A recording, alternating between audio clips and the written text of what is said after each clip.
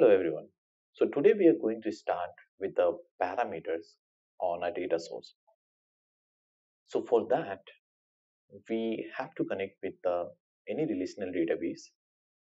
So here we are connecting with Microsoft SQL Server. So here we have to give the server name.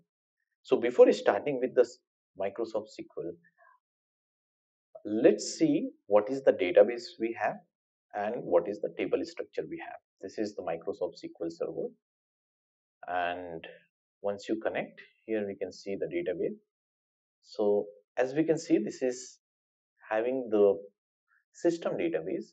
If we wanted to create our own database, right click here, click on the new database, give the database name.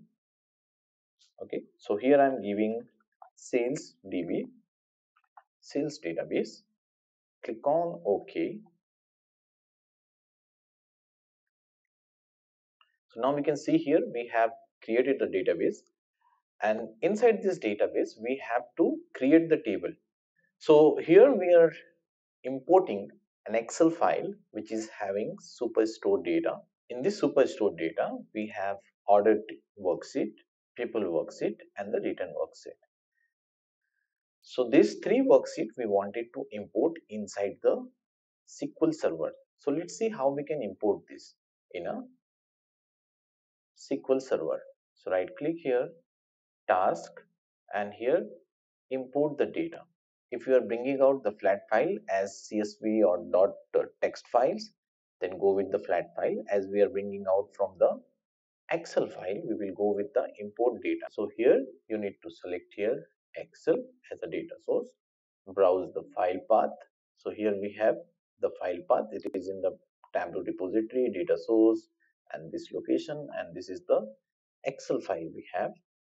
Okay, and here if you click on first row has column name, so it will automatically pick as a first row as a header.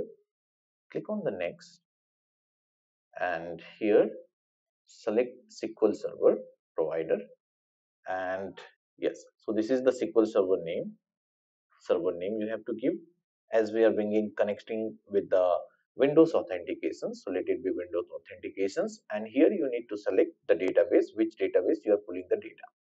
So as we are pulling here sales db if you wanted to select here let's say master table or some other database so you can you can select from here. So as we are pulling this table into the sales db and then click on next. And now you need to select okay copy the data. Yeah. So now here you need to select the tables. You can preview the data okay. And you can also see the mapping. Okay so mapping is also done. Okay.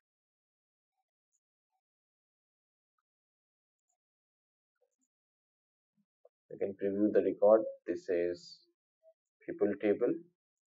We can preview the return table. And we can also so this is for the order table. People table.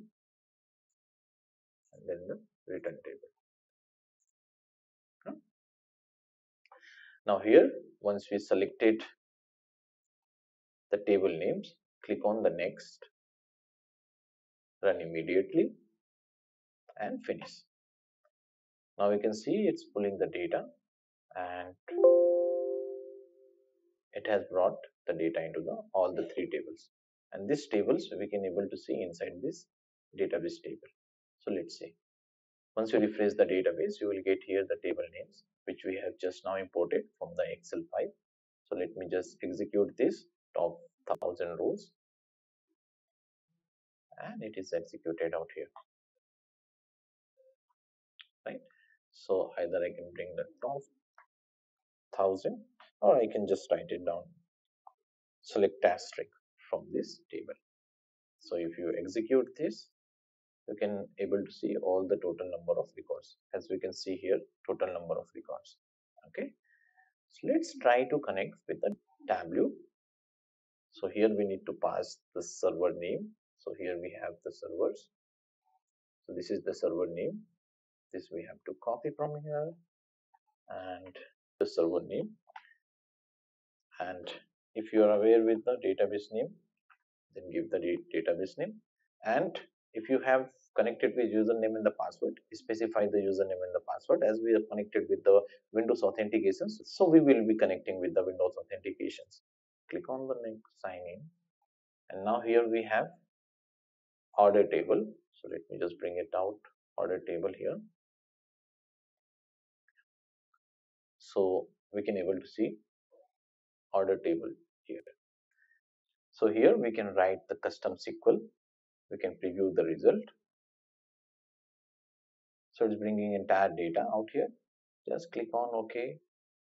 Let's go to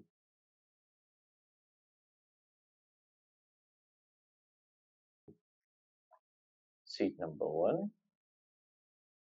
Okay, okay so it's bringing out entire data. Let's go to the sheet one and here uh, if we filter it out we can see all the four region. So what we wanted we wanted this to be dynamic whenever we are fetching the data. So before bringing inside the tableau it should filter the data uh, in the database itself. So for that, we have to create the parameters. And let me give here region selection parameter. And this is select as a string list add value from the region. So here we have all the regions. Click on ok. Now here we have the parameter. Sorry. Here we have the parameter. So what we want it should be dynamic as we are select sorry. So it should be a dynamic as as per our selections. It should filter it out. But the thing which filter is doing here as we can see we have filter as well. So this filter is filtering the data when data is coming inside the tableau. What this filter will do, this will filter the data in the database itself. Okay, so the entire data it will not bring inside the tableau. So the first thing which we have to do it is we have to go back to the custom SQL and here instead of bringing the entire data we have to write here where clause where region equals to central. So let's bring this data. Now go back to the sheet number one. Now we can only see here, it's only bringing the central data, right? So what we wanted, we wanted this to be dynamic where whatever the regions you will be selecting in a Tableau dashboard or the Tableau worksheet, this data should be changed based on the selections. So this selections should work on a database level. So this filter will work on the database level. So let's instead of central give this parameter name.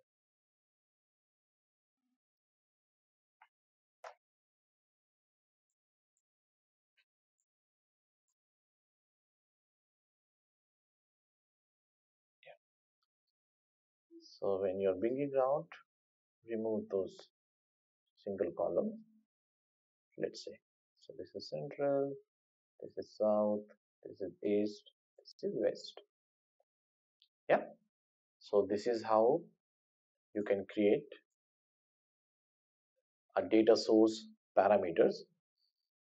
So the data source parameter is good when we are bringing the data from the database and it will always filter the data in a database itself. It will not bring the data inside the Tableau and it will not increase the load in the Tableau.